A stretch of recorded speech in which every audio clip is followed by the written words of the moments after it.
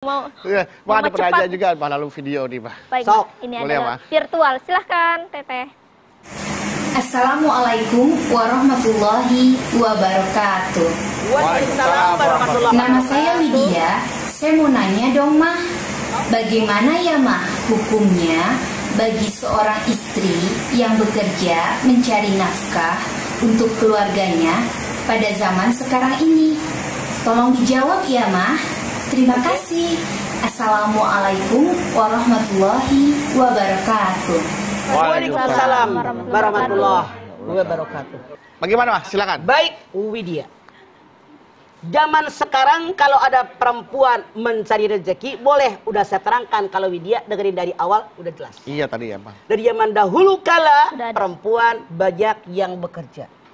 Hukumnya sebetulnya mubah, tapi bisa menjadi sunnah, bisa menjadi wajib kalau perempuan tadi tidak ada yang biaya kehidupannya. Dia wajib bekerja. Siapa lagi yang ngasih eh, napakah buat dirinya? Karena Ya. minta sama orang, saudara dan seterusnya tidak ngasih. Maka itu hukumnya adalah wajib.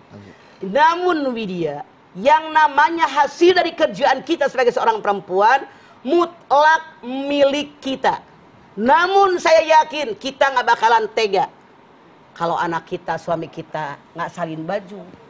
Kalau anak kita, suami kita mungkin belum makan. Pasti kita berikan makanan, berikan pakaian, sekali-kali diajak makan di luar, ya kan Bu?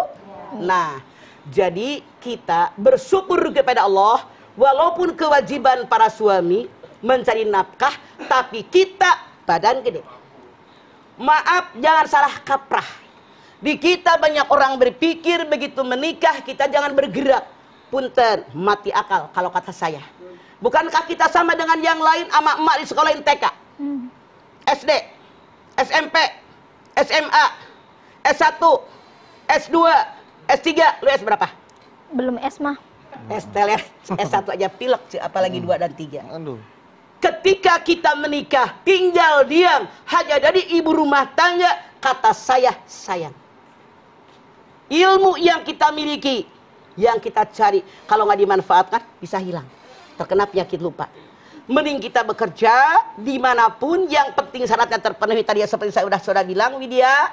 Kemudian kalau suami kita kaya, kenapa nggak bantu saudara kita yang miskin? ngasih emak, ngasih kakak, sekolahin ponakan, kuliahin ponakan, tetangga sekolahin. Kenapa tidak? Saran saya, sesuatu yang bisa kita hasilkan jangan disia-siakan. Kesempatan tidak akan datang untuk kedua kali. Oke, Widya. Sudah selesai? Sudah. ya setelah ini kita Di mana akan ada? kembali lagi tetap bersama kami di rumah Mama, Mama Dede. Dede.